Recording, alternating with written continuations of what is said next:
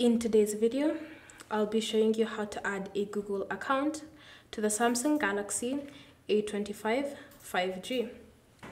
So first, open the settings app, then scroll and select the option Accounts and Backup.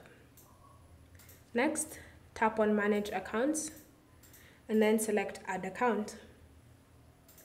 Look for the option Google, then tap on that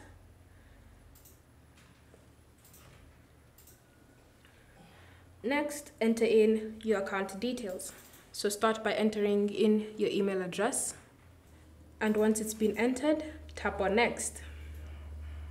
So ensure that you've entered it in correctly. Next, enter in your password. Then tap on next. If you have a verification that you need to do, continue with that verification process.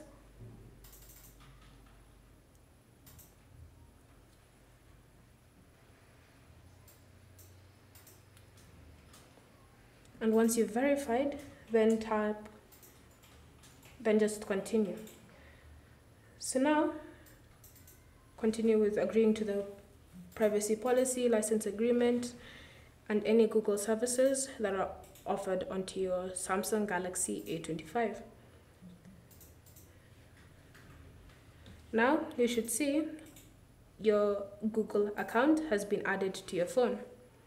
So now you can browse through YouTube, the Play Store, and all those other Google services easily without having any problems.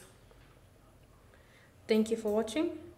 If you have any questions or comments, leave them down below and we'll get back to you.